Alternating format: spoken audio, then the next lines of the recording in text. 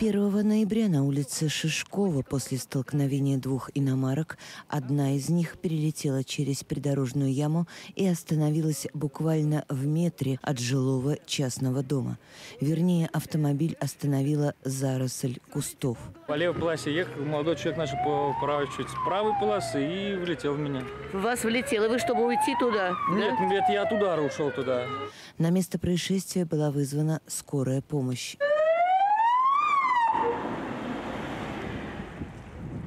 По счастливой случайности в аварии никто не пострадал. Медработники сами удивились такому исходу событий. Улица Шишкова односторонняя.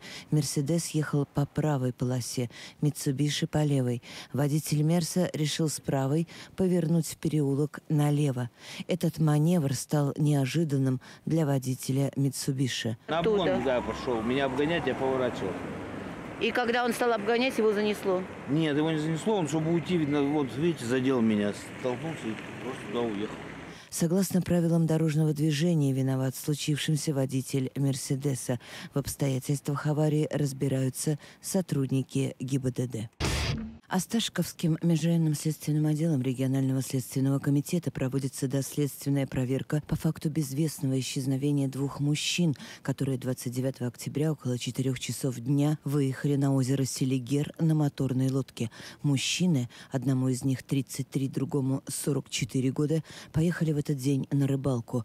После этого мужчин никто не видел. Спустя два дня, 1 ноября, в Осташковском городском плесе озера Селигер обнаружена лодка поиска пропавших рыбаков. Их личных вещей не найдено.